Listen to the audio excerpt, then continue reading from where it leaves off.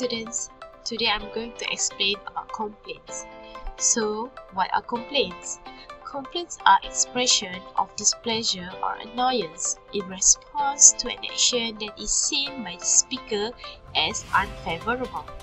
For example, if you want to complain about the pizza you have just ordered because it is too salty, what are the expressions needed to express and how to respond to a complaint?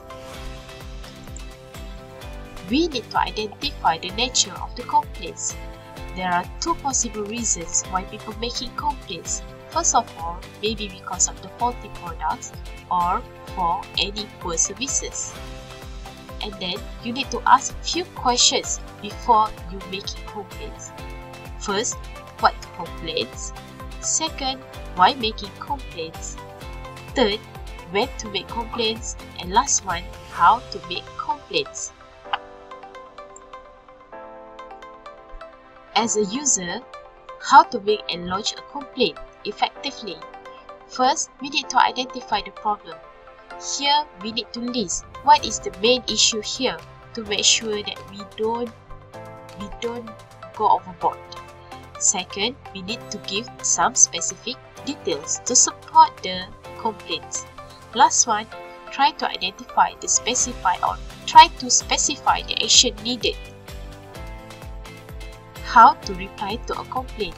If you are a person that we need to handle the complaint, first of all, you need to apologize for the problem. And then you need to ask for the specific to make sure you know what is the possible or the best action should be taken. And last one is try to provide some explanation or maybe suggest a solution. Okay, there are many reasons for people making complaints. The first one is because of the poor quality of the goods received or maybe you receive the goods in a damaged condition. Improper quantity of goods received, goods arrive late, goods delivered to the wrong place, defective packing, goods differ from samples or order, extra charge imposed, mistake in bill or invoice, poor service or after sales service, and unsatisfactory work accomplishment. That's all for today. Thank you.